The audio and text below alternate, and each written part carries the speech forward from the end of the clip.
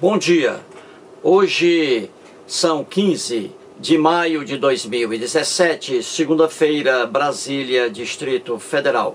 Mais um vídeo sobre religião. Religião pura ilusão, pura fantasia, pura superstição. Nesse vídeo, nesse vídeo, mais um trecho aqui em análise da revista Veja. Sexto vídeo.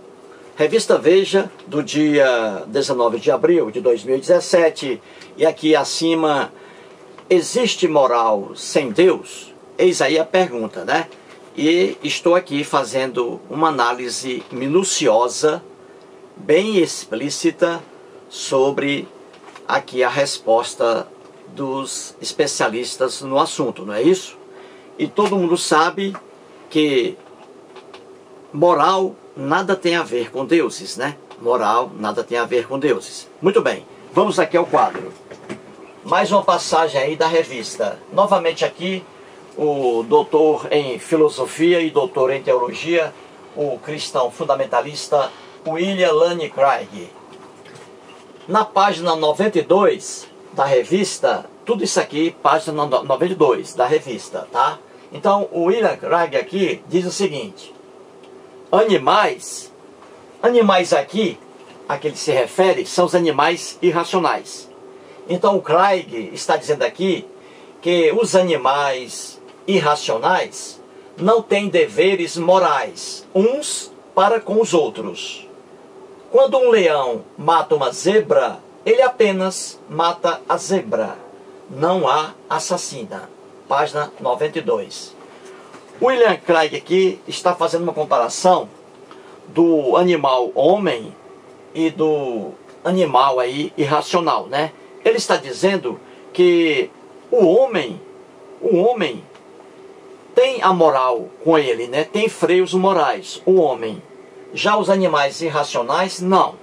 Aí ele dá um exemplo. Um leão, por exemplo, quando um leão mata uma zebra, ele apenas mata a zebra não há assassina. Já o homem, é isso? Quando mata um ser humano, ele aí comete um crime, né? Ele é um assassino. A questão aqui levantada pelo Craig é de uma infantilidade que dói na vista. Um cristão aí, fundamentalista, que adora o Craig, lê isso aqui e diz: beleza, o Craig é fera.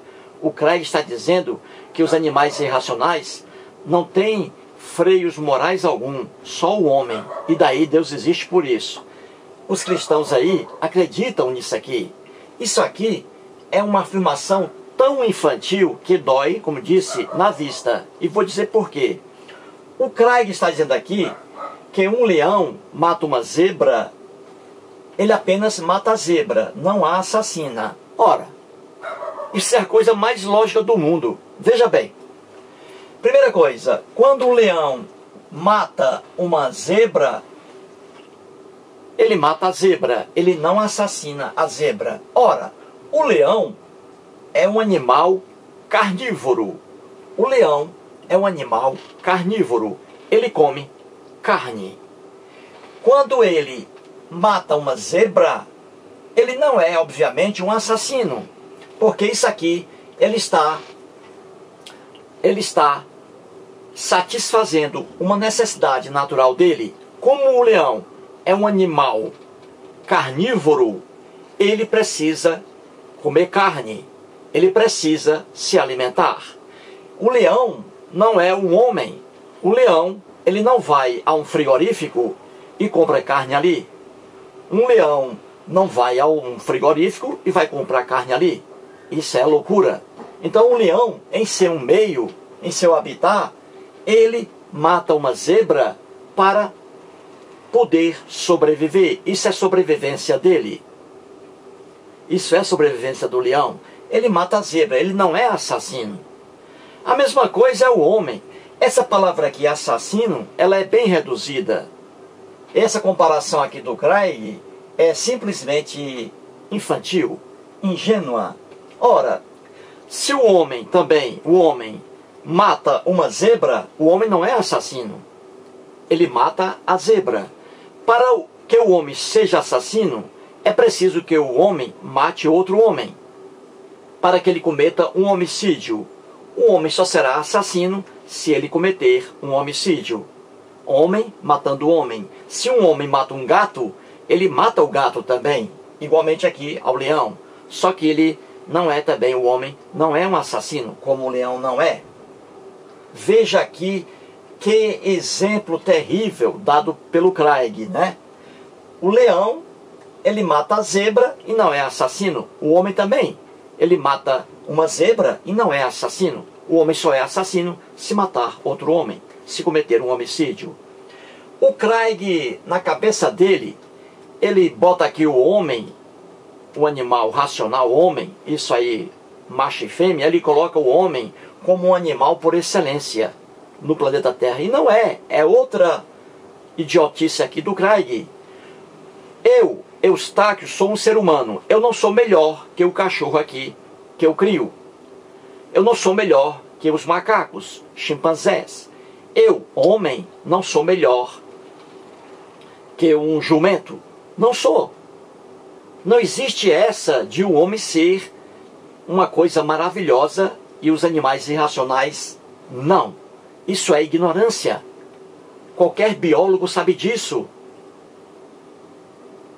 A importância dos animais irracionais na Terra é a mesma do homem. Não somos superiores aos outros animais. Somos simplesmente animais. Animais racionais, homem e os animais irracionais. Não há superioridade alguma do homem. Isso aí é erro que está aí nos livros sagrados. A Bíblia é um exemplo. Coloca ali o antropocentrismo, o homem no centro, e não é. Isso é ignorância tremenda. Então, o Craig aqui está dizendo que os animais irracionais não apresentam moralidade alguma. Não há essa questão de moral lá no mundo deles. Já no mundo dos homens, sim. E daí Deus existe por isso. Que loucura! Que loucura! E trago aqui na própria revista só um exemplo. Franz de Waal. Franz de Waal é um doutor. Ele é primatólogo holandês. Diz a revista que ele é aí o mais conceituado do mundo, não é? Não conheço. Pois bem, pois esse Franz de Waal, que trabalha com animais irracionais, ele mesmo aqui nas pesquisas dele, também encontrou ali traços de moral no meio dos animais irracionais. Entendeu?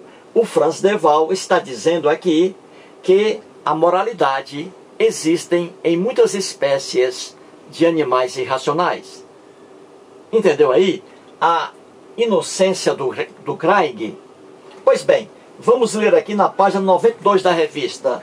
O Franz de Waal, veja bem, ele é especialista no estudo de animais irracionais é? especialista, ele é primatólogo holandês. Pois bem, ele diz aí que, ó, veja o que ele diz. Na raiz da moralidade há características que inegavelmente compartilhamos com outras espécies. Veja aí.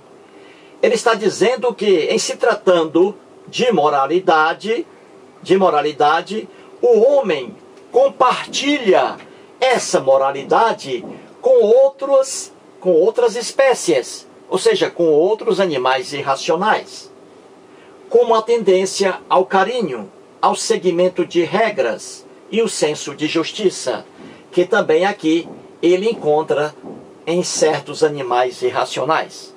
Viu aí? E ele continua, o Franz de Waal, os macacos, os macacos sentem que precisam tomar atitudes que ajudem a reconstruir uma relação danificada por um conflito. Veja aqui macacos, chimpanzés aí, objeto de estudo do cientista Franz de Waal, macacos, chimpanzés que apresentam moralidade ali, normas de carinho, de afeto, só que eles não exprimem verbalmente como o homem faz. Existem diferenças, óbvio, entre animais irracionais e animal racional, o homem. Muito bem. E aqui o jornalista da revista Veja, em relação às afirmações do Franz Deval, diz também assim: veja o que ele diz, o jornalista. Não só os representantes da categoria dos grandes mamíferos demonstram atitudes morais. Veja aí, ó, o que o Craig não consegue ver. Não só os representantes da categoria dos grandes mamíferos demonstram atitudes morais. Uma pesquisa, veja aqui, uma pesquisa da Universidade Emory, isso aqui é pronúncia portuguesa, da Universidade Emory, nos Estados Unidos da América do Norte, revelou como os arganazes do campo, que são roedores americanos, se consolam quando estão estressados. Fecha aspas. Veja aqui essa observação do jornalista da revista Veja. Ele está dizendo aqui que foi feita uma pesquisa, e mais do que uma pesquisa, foi feita foi feito um estudo científico sobre aqui esses roedores norte-americanos, chamados de arganazes do campo. Então veja bem, o cientista pegou aqui dois arganazes e injetou em um deles apenas, injetou em um deles apenas ali choques leves para deixar aquele animal estressado. Muito bem.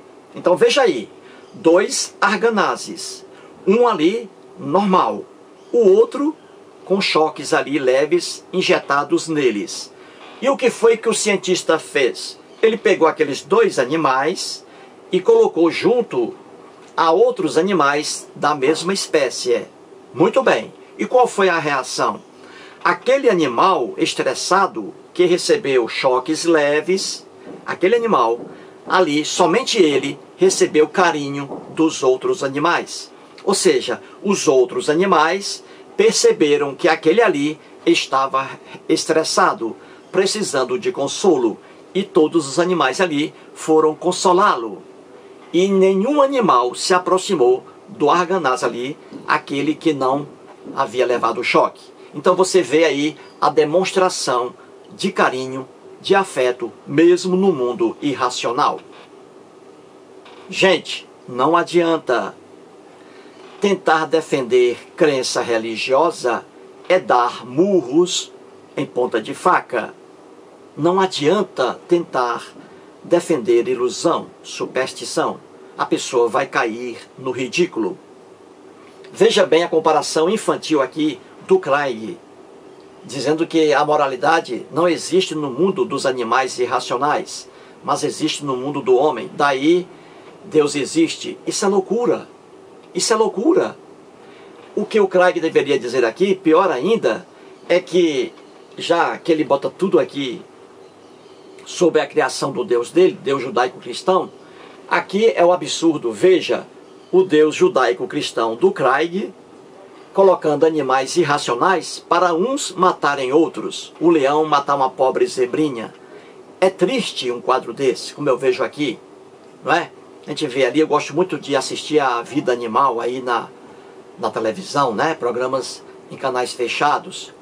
É, a vida animal. Eu gosto ali de assistir.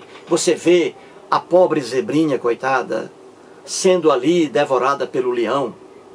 Isso é terrível. É triste um quadro desse. Pois o Craig aqui, no mundo, na cabeça dele, foi o Deus dele, judaico-cristão, que quis assim, que o leão comesse a zebra, coitado. Eu faria o diferente. Se eu fosse um poderoso, eu faria diferente. Nenhum animal iria comer o outro. Todo mundo iria comer. Aí iria. Todo, todos os animais seriam herbívoros, comer, comer folhas. E nenhum animal atacaria o outro para se alimentar. Seria o ideal. Mas não, o mundo animal é terrível. E não foi um Deus ou deuses superiores que, que criou essa loucura, o que criaram essa loucura, colocando animais para devorarem outros animais. Um mundo de sofrimento, de dor, que dá pena, quando a gente vê isso, né? Portanto, aí, mais um vídeo, o sexto. Vamos para o sétimo vídeo, né? Com, agora com o ateu Sam Harris, que da mesma matéria aí da revista, e aí o bicho vai pegar. Muito obrigado.